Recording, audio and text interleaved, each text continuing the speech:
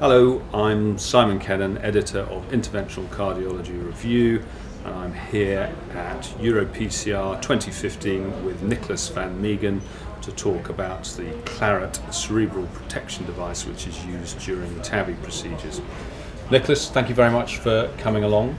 Um, you've had some great papers out recently about what's found in the filter devices uh, and what predicts what's found. Could you take us through some of that data? Sure. So first of all, thank you for having me. It's a real pleasure to be here. Um, I think um, cerebral embolization is a hot, is still a hot topic in transcatheter aortic valve implantation, and we started our endeavor with the embolic protection devices in 2012, and uh, we came up uh, with the idea that well, why why would we not protect the brain in all our patients? So in 2012 we started to use embolic protection in all our patients. But after the procedure, we save the filters and we send them to pathology. In the beginning of that experience, we only looked at the filters and sent the filters with microscopic debris in it. We send that to pathology. And the results were amazing. So we did find microscopic debris in up to 75% of the patients. And the debris could be either thrombus or thrombotic material or real tissue. Mm-hmm. And that was kind of a surprise to us that we that we did find so much tissue because we, the tissue amount was uh, over 50% of the patients had tissue. And you can imagine if there is thrombus embolizing to the brain, our body is used to deal with thrombus. It, it can dissolve again, but tissue it will stay there for the end of time. So that was a, that was a quite a striking uh, finding, but it was also on par with MRI data because also by MRI after TAVI we know that up to 80 to 85 percent of the TAVI patients will have new brain lesions if you would do an MRI of their brain. Yeah, exactly. So, what is predicting arrival of tissue and thrombus in these uh, meshes? Yeah, so this is exactly what we uh, presented uh, earlier uh, today at the PCR meeting. Um, so, what we did was we extended our experience and we studied 80, 83 patients. And we also um, made a, an adjustment to our uh, methods we no longer looked at the filters, we sent all the filters to pathology. By doing this, we increased the number of patients having tissue or having debris in those filters to 90%. So I think it's fair to say that almost all patients will have some kind of embolization during a procedure. Then we looked, okay, but what was this? What was this? Was this tissue or was it thrombus? And and it was tissue in 65% of the patients. So two thirds of all patients undergoing TAVI have some kind of tissue debris mm. in the filters if we protect the extracranial vessels. So then the next question was, okay, where is this tissue coming from? And it turned out to be myocardial tissue. It turned out to be pieces of the valve, the aortic valve. It could also be atherosclerotic material coming from the aorta mm. or the hmm. great vessels. And we did find fragments of delivery catheters which is quite interesting. Yeah. Yeah. Then what? So it was two thirds of the patients, and then the next question was, okay, is there a difference between devices? It turned out that there was a difference. There was tissue in two thirds of all the patients treated with balloon expandable systems, mm-hmm. as compared to 50% of the patients treated with self expanding systems. So that was remarkable. And if we did some multivariate analysis, again, the balloon expandable system turned out to be a predictor for tissue embolization as was oversizing.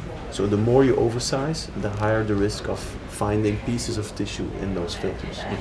I do have to say that there are some limitations to this study. It was a relative small sample size, so only 83 patients were enrolled. Mm-hmm. And the confidence uh, intervals were large for the for the valve type. Okay. Not for the oversizing, but for the valve type it was. Okay. So it is definitely an hypothesis. And was this with Sapien 3 or with XT? No, it was with Sapien XT. So okay. it, it, was uh, our experience up to early 2014. And as you know, Sapien 3 was launched in 2014. And we did some additional changes since then. For instance, we no longer do balloon dilatation yeah. in our in our procedures. Back then, it was balloon dilatation and all. And balloon dilatation predicts tissue as well. Um, we don't know because we did balloon dilatation in all those patients right, that okay. were enrolled in that uh, study, but post dilatation trended to be associated with tissue embolization. Okay, yes. all right. So, what's the significance of the tissue and the MRI lesions? Clearly, it's not good. I guess the question is, how bad is it? Yeah, so that is that is one of the hot topics at the moment. How do we need to interpret these data? Is it is it that bad, or doesn't it mean anything? We don't know. So this is where other studies and further research is crucial, and probably it will be difficult to find. Um, uh, an impact of embolic protection in clinical events. But what about these subclinical events? And there are some reasons to believe from the literature that these subclinical infarcts do play a role down the stretch. Maybe not immediately, but they are linked to premature dementia, mm-hmm. to neurocognitive deficit, and other issues. Why do you say it won't protect against overt clinical events? Well, I don't say it won't protect. I say it is. It's going to be difficult to demonstrate it because the stroke rate is so, is okay. actually relatively low, and it's definitely not higher as compared to surgery. That is for sure. Yeah. Okay. So coming back to surgery, how frequently are we seeing MRI lesions after conventional aortic valve surgery? Yeah, it turns out to be 50, 50 in between 50 and 60 percent. Right. So basically, it is something that also surgeons have to have to face. Okay. But so far, they were not interested in that kind of studies. But now they are looking for it, and we are looking for it for them. And then you see that uh, they also have cerebral embolization. Right. But that's only 50 to 60 percent. Yeah. Okay. And are these the same sorts of MRI lesions, bigger, smaller? Yeah. So the volume of those lesions tend to be bigger. Okay. And it makes sense because I think uh, what a surgeon does is maybe a little bit more drastic and dramatic than working with catheters. In principle, a catheter based therapy should be less invasive and should be a little bit more elegant.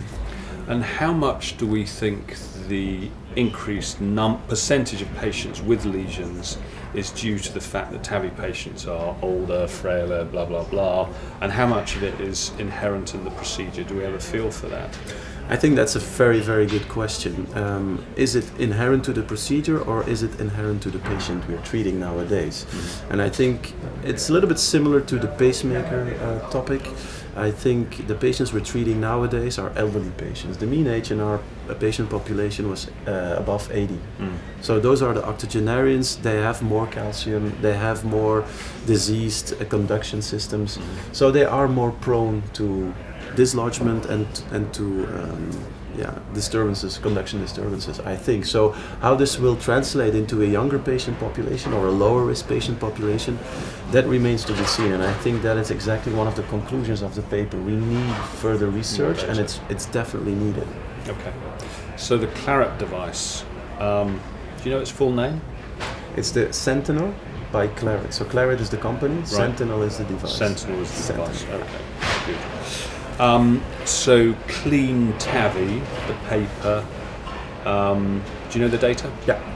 Do you want to just take us through it? Yeah, so the clean TAVI data was for the first time presented um, at TCT last year. Yeah. It's a study that was done by uh, Axel Linke in Leipzig. And they randomized 100 patients, uh, one to one, to the use of the claret versus no claret. And they did a whole battery of testing, including MRIs at baseline, immediate at, at, day two, at day seven, and then one month, at three months. So they had, a, they had a whole battery of MRIs, but they also did neurological assessment before and after the procedure. And there was also a neurocognitive testing. So this uh, at this uh, EuroPCR meeting, they also presented uh, some data from the neurocognitive testing. But I think the essential um, key learnings from that study are that, first of all, there was um, there were lesions in almost all patients mm. if you did an, if you do the MRI. But if you use filters, you see a reduction in the number of lesions mm. and also in the volume of lesions. So there were also some some signs of effect um, related to clinical neurological signs. For instance, ataxia was more frequent in the group of patients that were not treated with the claret. But I think that the main finding is that when you use a filter based embolic protection, you will reduce the number and the volume of the lesions in the brain. Okay. And from memory, fluoroscopy was longer, but there was no more contrast used. Yeah. So Um, so the fluoroscopy um, was longer, but I must say that this is no longer the case in my practice. So I have a very low threshold of using these filters because I'm a believer. I think there is a reason uh, to protect the brain during those TAVI procedures, and it takes uh, takes me less than uh, two minutes to introduce uh, a filter. And you go in with a six French sheath. It's a right radial access. You have one delivery system for two filters. So it's it's relatively straightforward, um, but of course there are some limitations. You don't protect the left vertebral, for instance. Um, you may risk scratching some atherosclerotic plaques as you are deploying the filters, but I don't think that um, additional radiation or contrast should be limitations of this uh, technology. And what's the learning curve? Again, a very relevant question, and it depends on uh, your expertise as an interventional cardiologist. If you are used to radial access, then there is no that the learning curve is very, very steep. So I do um, f- in my coronary cases, I use the radial approach in over 90% of the cases. Also, all my studies are radial. So then the learning curve is very steep. Then the only thing that you need to learn is how to how to make the bend of the catheter, but it's just turning a knob. It's very easy. All right. So you say you have a low threshold for using cerebral protection. What sort of percentage of TAVI cases uh, are you using it for? I think uh, close to 85% of our cases now are being done with the filters. So how do you decide who not to use it for? Well, I think um, when you go for an alternative access, it becomes maybe a little bit uh, more cumbersome to use the device, especially if you go for a right subclavian. That's a no-go. It's non-compatible with the with the filter-based embolic protection that we're using today. For left uh, subclavian approach, which is our second alternative access, I do believe that as you cross the aortic arc, it may interfere with the filter that is yeah, yeah. deployed. So um, we don't use it for subclavians, and for the transapical access, it's more a logistic issue. You know, the organization of the room during the procedure that Yeah, limits yeah, yeah. Uh, the use of the device. Okay. Nicolas, thank you very much. It was my great pleasure.